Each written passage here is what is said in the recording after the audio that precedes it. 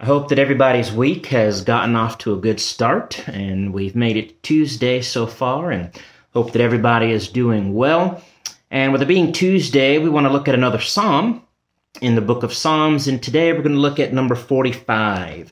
Psalm 45. And this is an interesting psalm. Um, not exactly like all the other psalms we see in the book of Psalms. Um, but it's unique for its apparent double meaning. That rather, when you read the psalm, it seems to be you know a psalm about a wedding and a celebration of a king and his bride and um, rejoicing in this event and this great honor of a wedding and uh, the king and his bride being together and brought together and it probably had application as a wedding song at the time it was written. But there is a deeper, greater meaning to this psalm that we actually find as the Hebrew, the Hebrew writer tells us in Hebrews chapter 1 that this psalm is actually also a messianic psalm, a psalm about the Son of God, a psalm about our King, a song about the Messiah, the chosen one, the anointed one Jesus Christ, who came to save us, Jesus, our King, our Messiah, and his bride, the church, his people. So let's read this together. Psalm 45. My heart is overflowing with a good theme.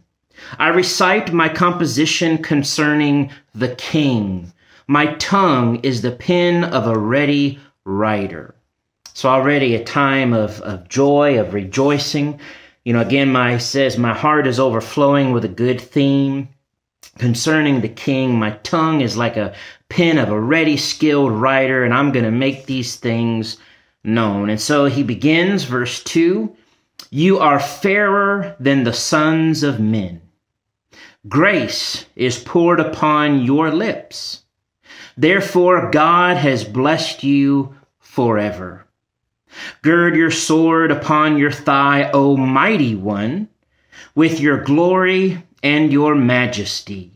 And in your majesty ride prosperously because of truth, humility, and righteousness. And your right hand will teach you awesome things.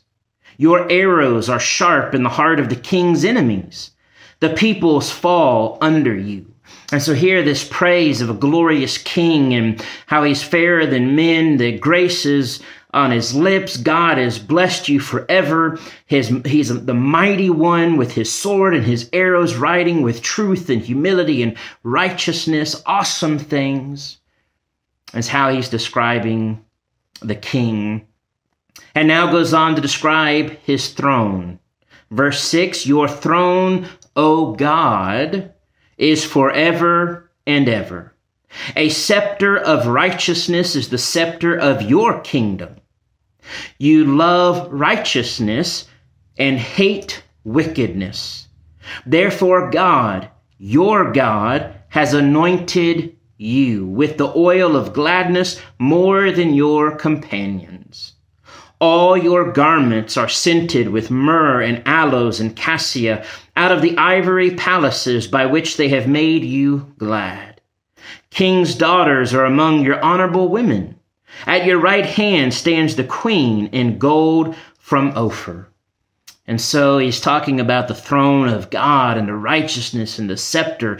And this is actually what is quoted um, in the book of Hebrews, in Hebrews chapter 1 of Jesus who came, Jesus the Messiah, Jesus the anointed one, Jesus who is now on the throne of his kingdom forever with a scepter of righteousness in his glory.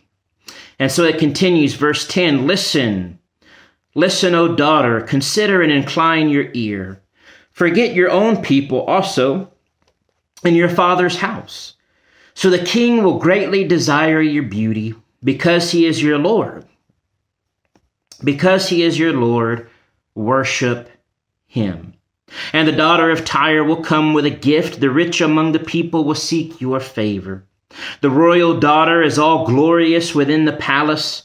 Her clothing is woven with gold. She shall be brought to the king in robes of many colors. The virgins, her companions who follow her, will be brought to you.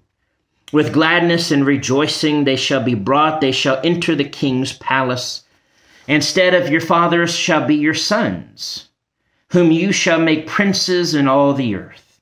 I will make your name to be remembered in all generations. Therefore, the people will praise you forever and ever.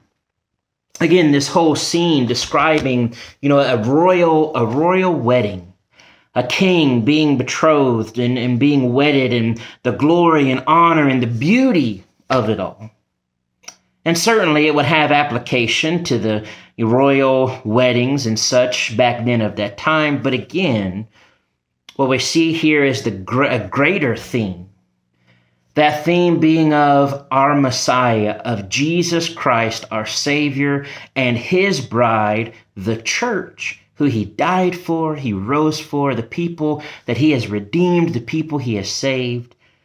And so we see in this the glory and the power of, of Christ, of Jesus, of God, his throne, his kingdom, and the beauty of his church, the beauty of this, this um, wedding between the Lamb and his bride, the King and his bride, Jesus and his church.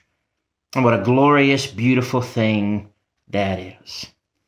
So let's think about that as we read Psalm 45 and we think of the glory of Jesus, the glory of the Messiah, and our relationship with Him today. Knowing that Jesus reigns on the throne forever and ever with a scepter of righteousness, and we want to be His people and be pleasing to Him. Thanks be to God. Thanks be to God for sending us the Messiah, His anointed one, our King and our Savior. God bless.